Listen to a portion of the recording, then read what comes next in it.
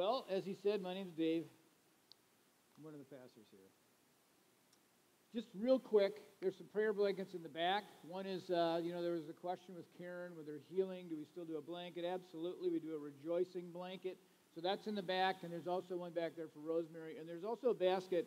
There's been some confusion with Pam uh, Heinlein as far as people giving cards or meal trains or anything. And there's no, there's no pressure here, but we've, we've um, not had any real clear direction. So there's a basket in the back, and there'll probably be one there next week too. If you want to give them a card, like a Publix card, or just a card of encouragement or anything like that, that's back there. So just so that's clear. And then I just want to give a shout out to the graduates, a personal shout out to Logan, who has graduated nursing. Let's give it up. I watched that guy grow up from a wee lad, and I watched the other kids grow up from a wee lad, except Julia. I've just got the pleasure of meeting her, so it's a wonderful thing to watch her grow into a wonderful young lady. And are you doing really doing jury duty? Oh man. Thanks a lot, Mike. Anyway, I'm excited to be here today. Are you? All right, we've got the center right here. They're excited to be here. Glory to God. You know, Andy made a mention of. Um, Psalm 37 4 of delight yourself in the Lord, he'll give you the desires of your heart. So delight yourself in the Lord, that's a choice. It's a choice you make to press into that. And the Greek word for as far as delight or Hebrew word for delight is lean into. So it's a choice to lean into. So then as you think about it, if he'll give you the desires of your heart, man, that's a jumping catfish opportunity of a golden ticket. Delight yourself in the Lord, he'll give you the desires of your heart. Desire of your heart is a thousand cattle on hills in the Grand Canyon, right? Right? No, that's not what it is. I believe truly it changes the desires of our heart because we're delighting ourselves in the Lord. And as we start to look in Psalm 1 today, I just had this burning in my heart for a while and praying through what to preach on. I really felt like this is such a message that if we can grab a hold of it, it can change your life. I mean, radically change your life into the realm of your understanding of who God is. Because I think sometimes we religiously create God in our own mind, in our own little box here, we create a lot of yeses and nos of things of which we can't do. And I can't step that far out there because you get into this zone where it starts to waffle back and forth in only my head, not yours, but mine. Maybe you think I'm not, yeah, I'm kidding. Anyway, it gives us opportunity to plug into this place that can transform us through the Word of God. So, let me pray real quick. Lord, we just come again together with you. And we ask by your Spirit to bring life to your word. We thank you so much for your word. We thank you so much for Jesus and the Holy Spirit.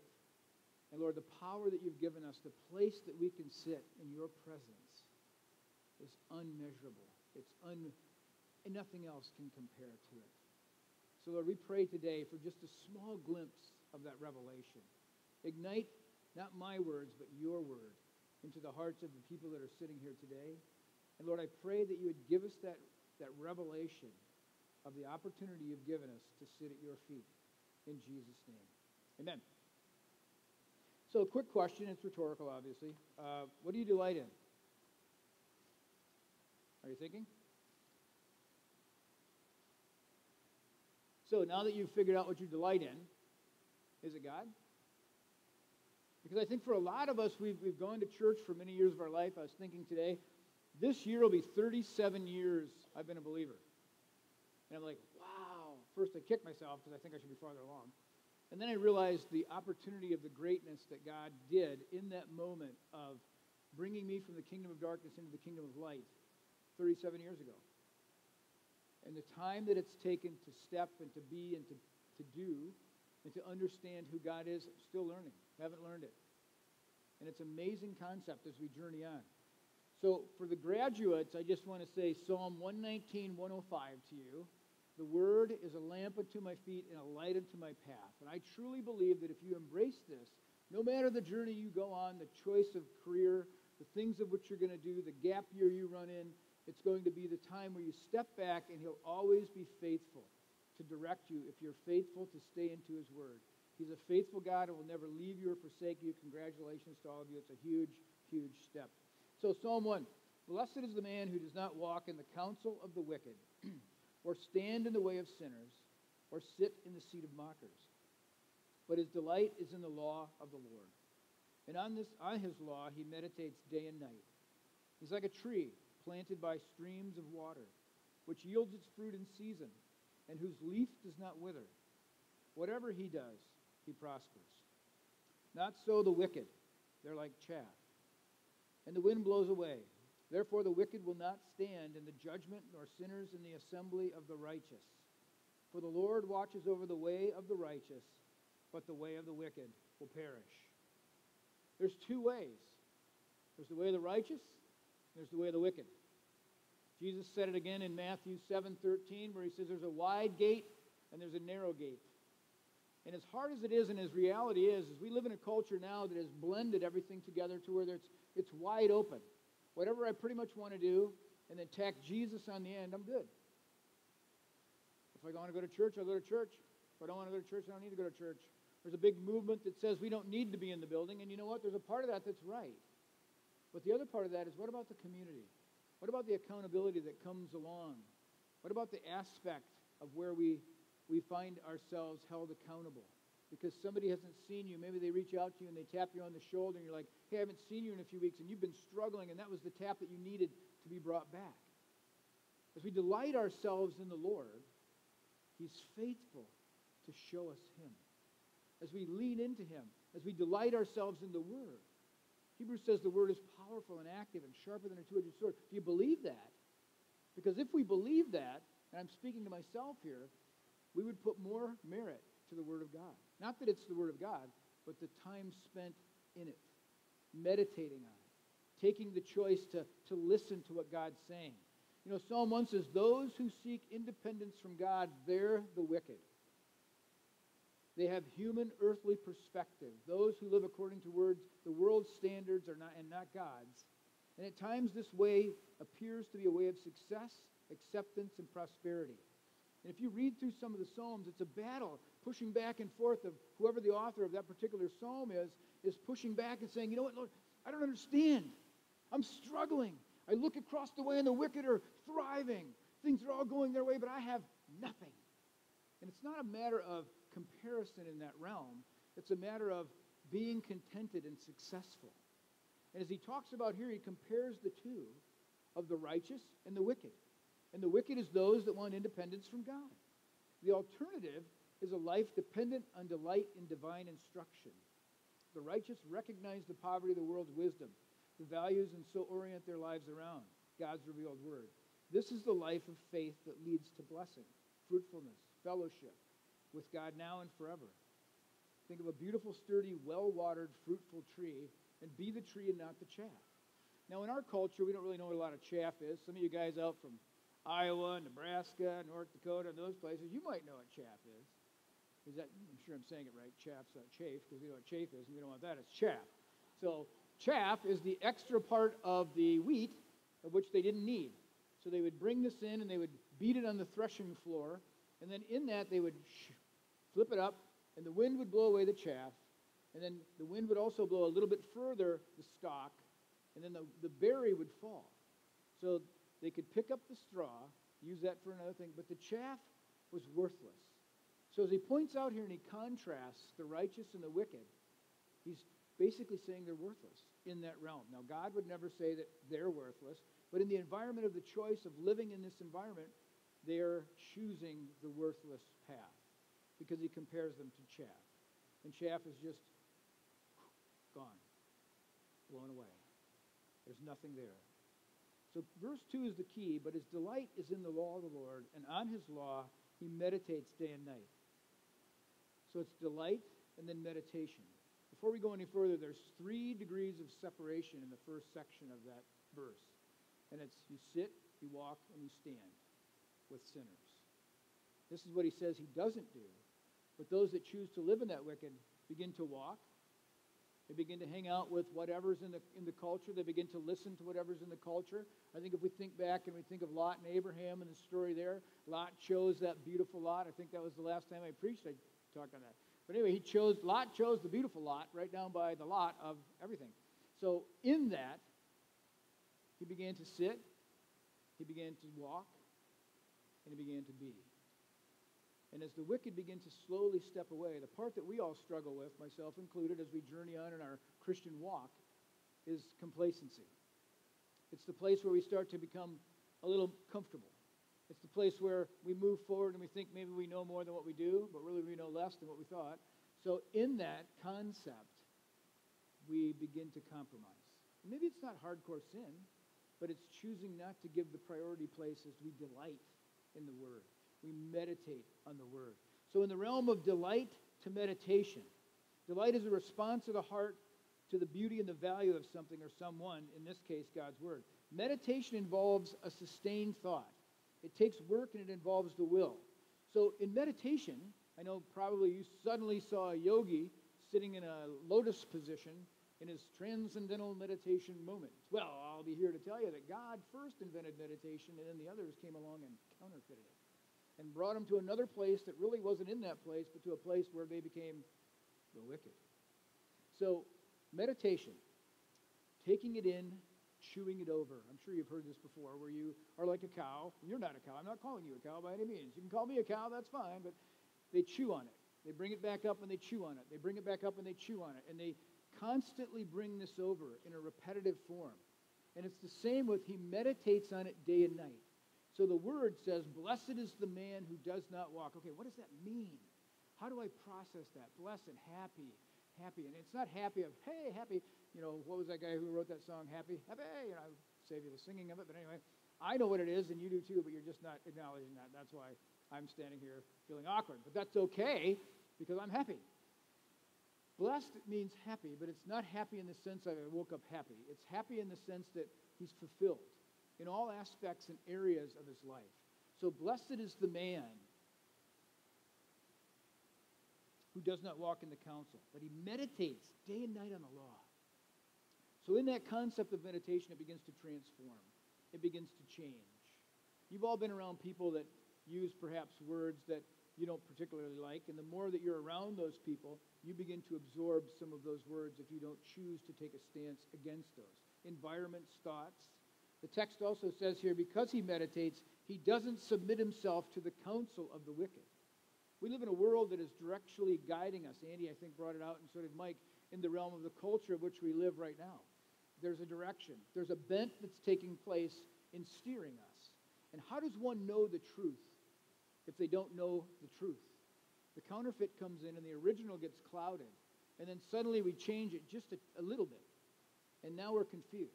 But if we stand true on the Word of God and we delight in it, then the things of which God does we know for a fact because it's changed us. And We go back to the Word, and the Word doesn't change. Meditation done well will serve, strengthen, and sustain delight. Meditation allows the Word to penetrate our minds, hearts, and wills more deeply. Through meditation, we are transformed by the renewal of our mind. Romans 12 says, Do not be conformed to this world any longer, but be transformed by the renewing of your minds. The Word of God transforming them. And then the next verse after that says, But do not think more highly than you should of yourself. That's the other side of the snippet that spins as we start to journey on. If I know more, well, I really don't need to do this anymore because, you know, I've been a Christian for 37 years. Do I really need to get up and have devotions in the morning anymore? Because I know God. I know a lot of scripture in my own mind. So do I need that? Absolutely more. Need it more than before. Why? Because I am a human man. I am fallible. I am selfish. I am disorganized. I am mean. Without God, all those things are real. All those things are there. And those are the things of which God is changing us and molding us by spending time in the Word.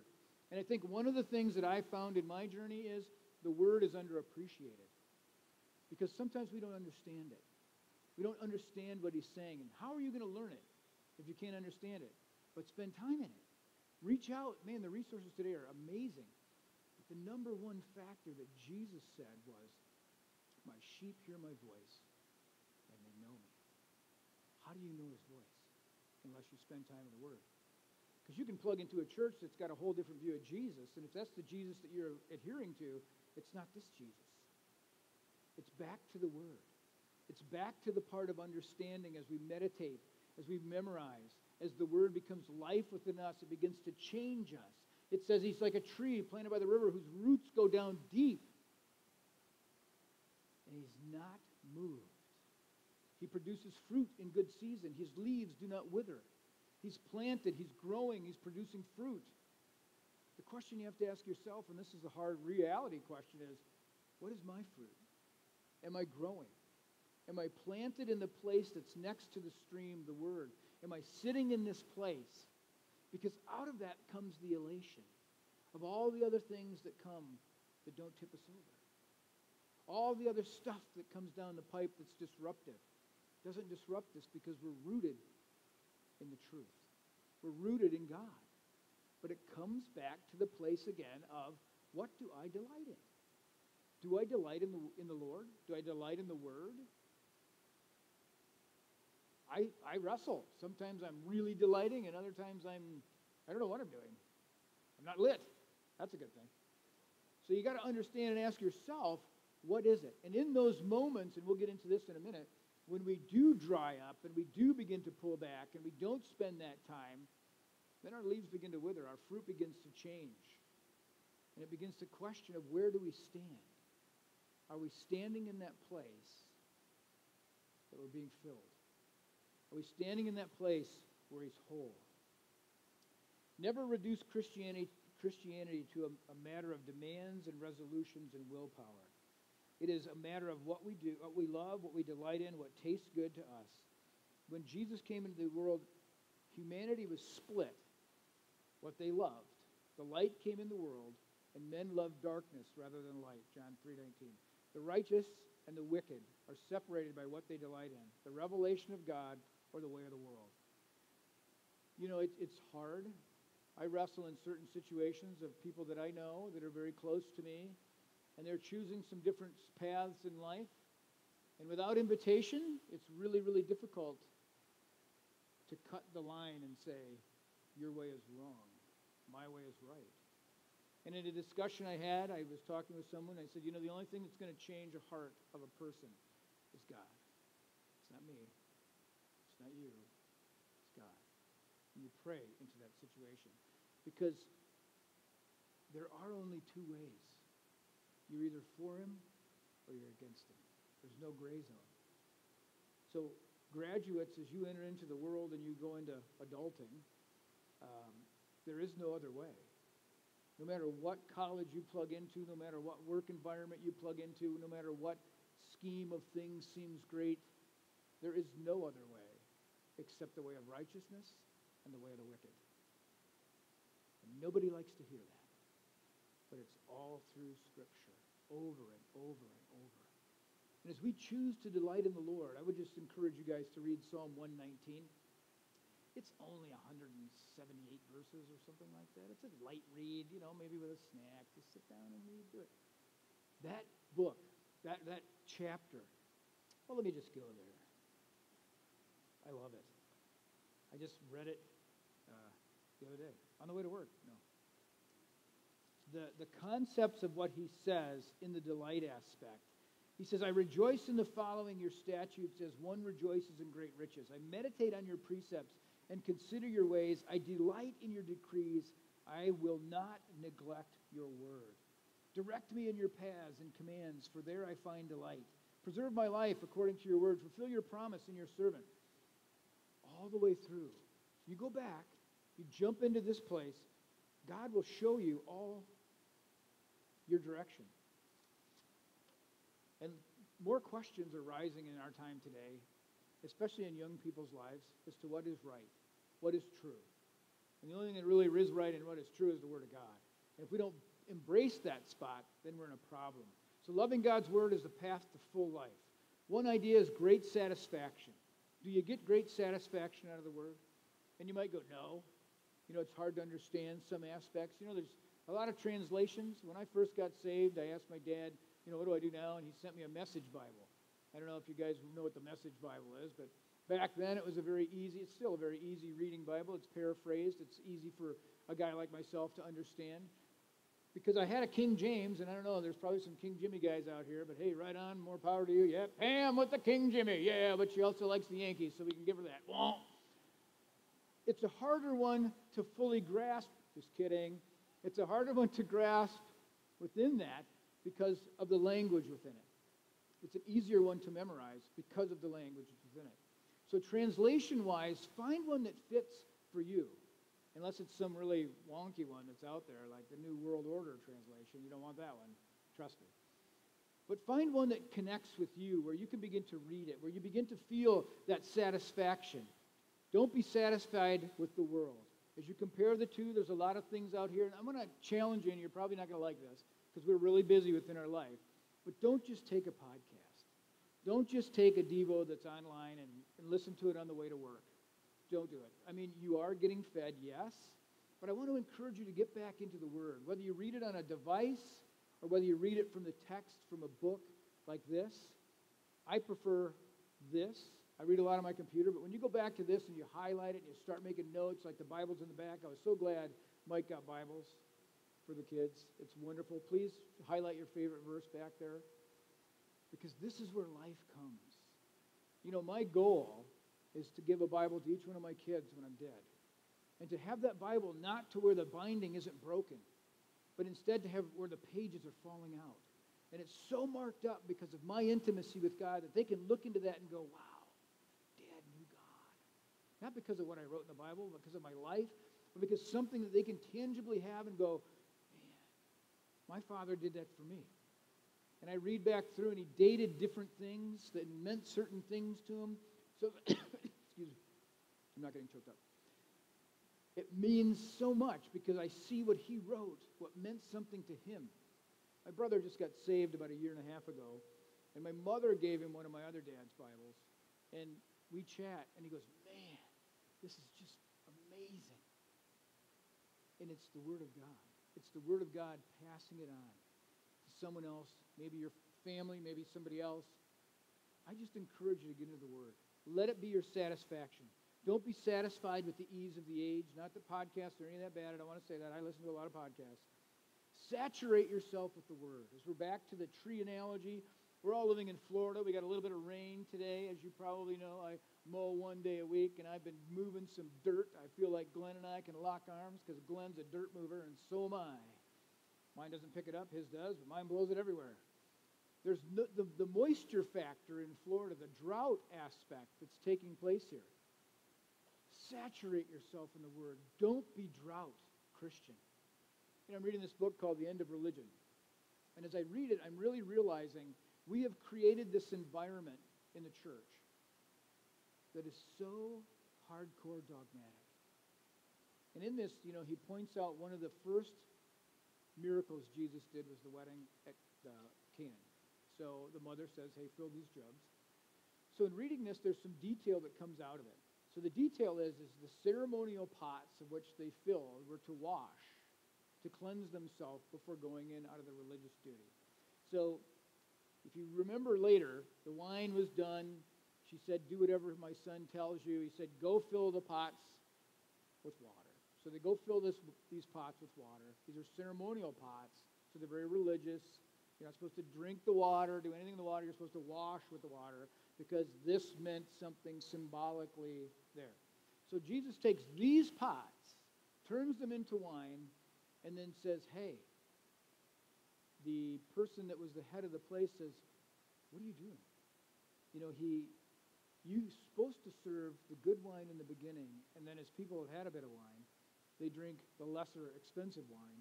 This is like the premium wine. So in doing that, Jesus took their ceremonial pot and turned it and said, you know, we're not going to be of the religious sector. We're going to break this side and we're going to fill this with that. And in the reading of this, there were plenty of other wine jugs he could have filled that were empty because they'd already consumed large amounts. So, in the religious aspect, Jesus came in with a specific mindset as he started to reveal himself. Now, you may remember one where the uh, individual was at the pool of Bethesda or Bethsaida, one of those bees, and the guy couldn't get there because he was lame. You know, that was supposedly it was the angel came and stirred up the pool, and whoever came into the pool first got healed. And this poor guy had been sitting there for years, and he couldn't get there because he couldn't walk, and there was nobody there that would put him in. So Jesus said, "What do you want?" I'd like to be healed. He says, "All right, you're healed. Pick up your mat and walk." So, question that I read in here. I wish I figured out all this by myself, but I can't take credit for that, so I'm just going to be honest. Is he pointed out that it was the Sabbath day that he healed him. One, you're not supposed to heal on the Sabbath. But then he told him to pick up your mat and walk. Why did he do that? Because on the Sabbath, he was not allowed to pick up his mat and walk because it was work. So when Jesus came in, and this is part of where delighting in the word is going to come back to you, is he blew apart the religious structure to say, listen, it's about a relationship with me. It's about connecting with me. And all these things that have been placed in establishment that you're supposed to do in order to be able to have a relationship with me, he says, I'm going to blast each one of them so that you can come unto me and be think we forget that. I think we forget that in our world. I think we forget the, the concept of what it's about within us. Have you ever thought about the, the feasts that they did? The many different feasts and gatherings together. It was to bring them back to remember. Now, in this transition here, remember, remember this. I'm going to go to Revelation 2. So, the church at Ephesus, to the angel of the church in Ephesus, write, These are the words of him who holds the seven stars in his right hand and walks among the golden lampstands. I know your deeds, your hard work, and your perseverance. I know that you cannot tolerate wicked men, that you, that, that you have tested those who claim to be apostles but are not, and have found them false. You've persevered and you have endured hardships for my name, and have not grown weary. Yet I hold this against you. You've forsaken your first love. Remember the height from which you've fallen. Repent, and do the things you did at first. If you do not repent, I will come and remove your lampstand from its place. But you have this in your favor. You hate the practices of the Nicolaitans, and I also hate. He who has an ear, let him hear what the Spirit says to the churches. To him who overcomes, I give the right to eat from the tree of life, which is in the paradise of God. Three things he says in there remember, repent, and return to your first works. So, in the remembering side, they did feasts. They did things, you know, of the stories of the Ebenezer stones as they crossed over the river, as the stones that were put into the middle of the Jordan as remembrance stones. Do we do remembrance things? I don't know. But you can remember from the moment that you got saved or you gave your life to Jesus Christ, I hope. Because your life should have changed. It should have radically changed. So remember, do you remember when God first awakened your soul? Do you remember the excitement you had when he plucked you out of darkness? How joyful did you dance from the orphan of a, to a son, a dead sinner to a resurrected saint, an enemy with God to be his beloved, from chaff to a tree? a cedar of Lebanon. The church of Ephesus had great things to remember. There was deliverance from idol worship, the liberation from evil spirits, the many miraculous healings that occurred in the city, the great bonfire where they burned all the occult books and magical incantations, their public repentance before a pagan crowd. From the inception, the Ephesian church radically experienced God. They were a place that did huge things that people came from all around to learn of this God of which they worshiped and they served. So when he says, Remember where you've fallen, all these things you've been saved from and delivered. So for about 30 years, this progresses on. And then Jesus comes and he says, You've lost your first love. You guys were hardcore zealous. You were intense in doing evangelism. You were intense in seeing people saved. But what's happened is you never grew weary in the testings but now you have become used to all the function of the machine. And you've no longer put me in the place of being that first love. From the inception of the Ephesian church, these early believers were renowned for their passion for Jesus, their willingness to sever their new lives in Christ from their pagan past, and their aggressive missionary zeal. All of this was part of their history. And they burned like a spiritual inferno, and in the vibrancy of excitement, these Ephesian believers inspired the same passion in other churches. But as years passed, the zeal of the Ephesian church had once possessed for the things of God slowly ebbed away. Knowledge increased, but the believers' passion for Jesus diminished. And undoubtedly, the church grew, so did its members, schedules, routines, habits, customs, traditions, the subtle backsliding that often occurs when Christians, consumed with serving God, begin to take hold in that great church. The Ephesians were busy serving God, but lost their intimacy with Him. This is us. This is the modern day culture we live in. We sometimes think that I'm really, I'm really doing well with the Lord because I'm really busy. I've got all this stuff going on ministry wise and I'm really busy. That's not what it's about. It's about relationship. It's about the concept of coming back and understanding who you are in God and who He is in you. And that comes through delighting in Him.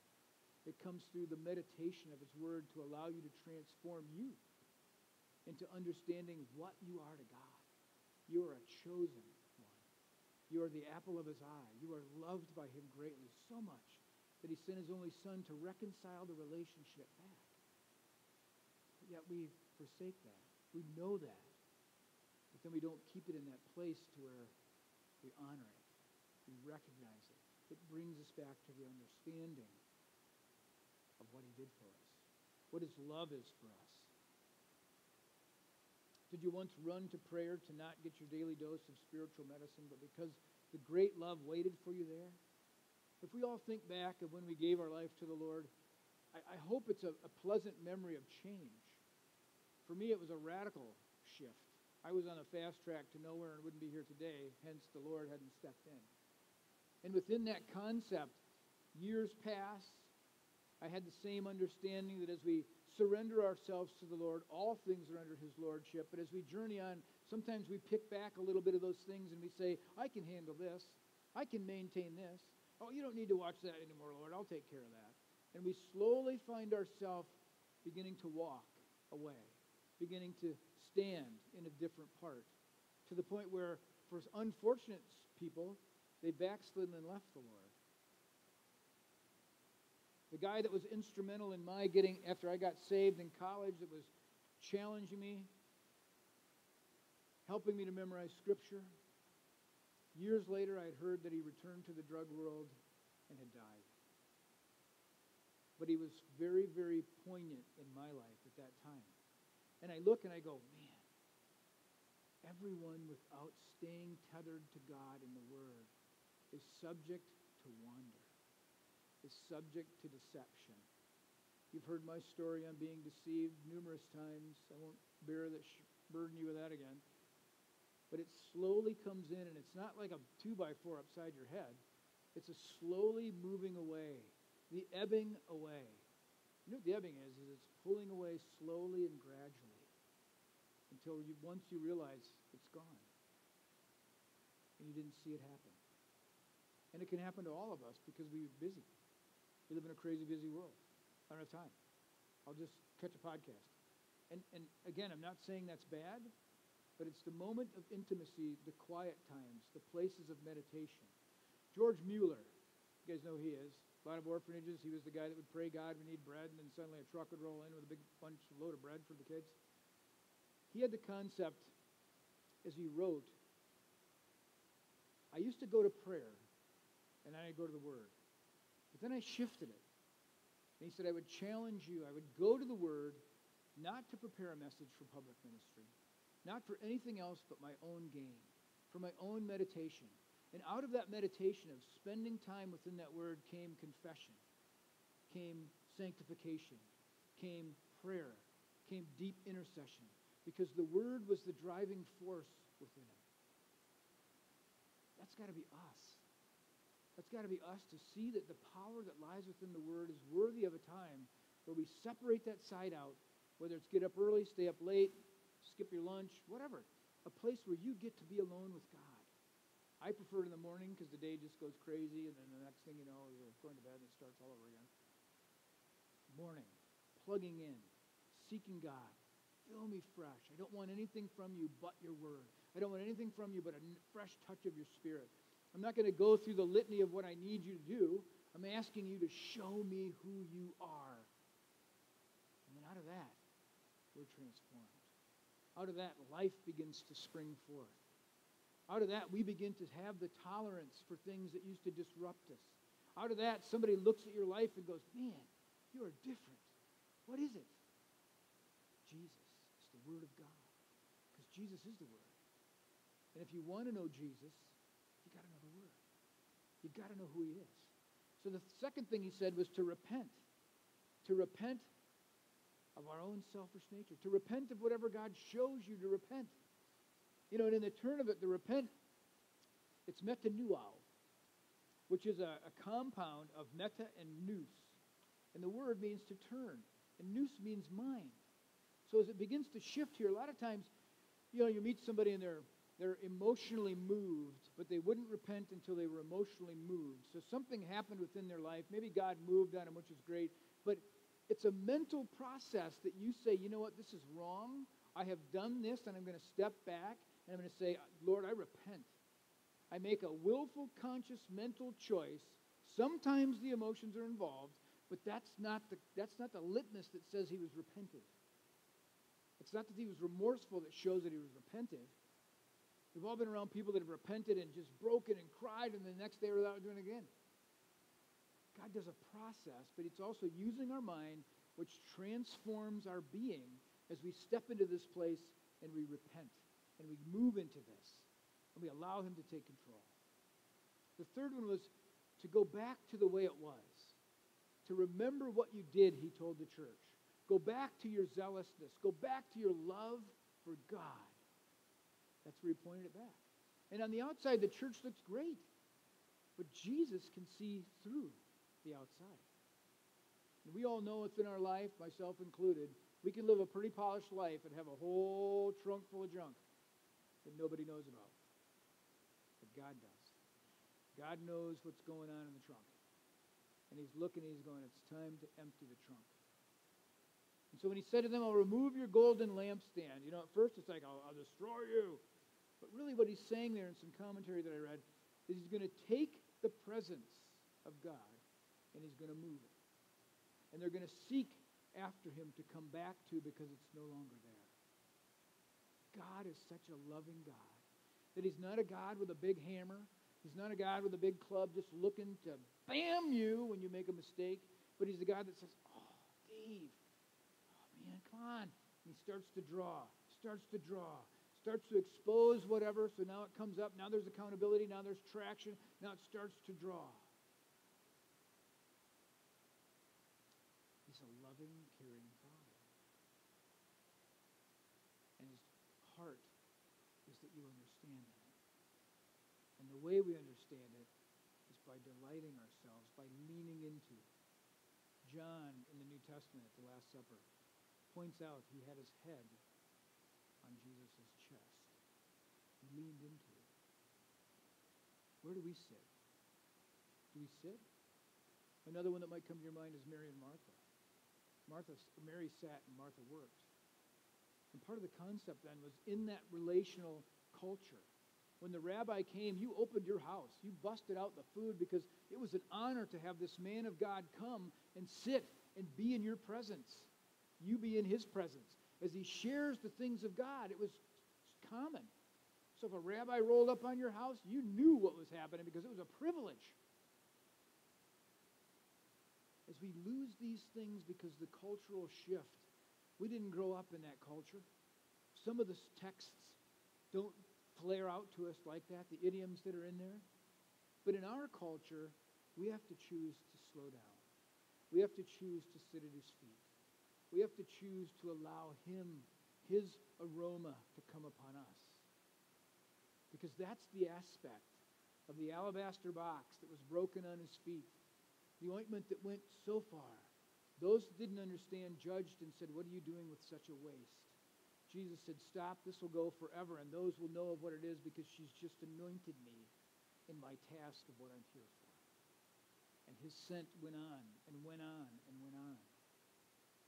That's where we have to come back to the understanding and ask God for fresh taste buds within your heart. Taste buds that hunger after him. Psalm says, taste and see that the Lord is good. It's an aspect that we have to make the choice. Delight yourself in, it's a choice. Letting him focus that part back into us will revolutionize and transform us to where we can be the vessel that he wants us to be, the one that carries who he is. So as the worship team comes up, I want to just give you an opportunity within your mind. I'm not going to have you come up here doing that stuff. Unless you really want to, you need prayer, then come on up. But ask God, is there any area in my life, my life that I'm delighting in that's not delighting for you, that you're pleased with? Is there any area that I need to throw off? Hebrews 12 speaks of this. Throw off those things that so easily entangle you and run the race that's set before you. So we all know that little creepers come in in our lives. They're not bad, but they're time suckers. They're mind shifters. They're things that steal away. Just ask the Lord, is there anything within my circle that's problematic for the depth you want to have with me? Because all of us that sit in this room that say Jesus Christ is Lord, and even those that haven't met him, his heart is crying out to you to say, I want this place with you. I am the creator of the entire universe, and I choose you to come sit with me. Father, we, we ask that you, by your Holy Spirit, just show us. Because so many times we pick up things in the grass, we pick up hitchhikers. In our life, we pick up hitchhikers that steal away. Maybe they're not bad, but they steal away from what your desire for us is. And so, Lord, we pray today that as we looked at your word and the joy that comes from delighting in your word, the power that lies within your word, the power of the meditation of you and your word being alive within us and changing us, Lord, we want that. I want that.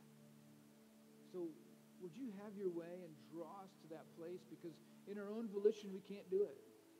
We can try, but we will fail. But when your spirit draws and when you ignite, nothing can quench that pull. So, Lord, we say, have your way. Have your way and release your spirit in full to draw us to that place of face to face intimacy sense of your aroma would be on.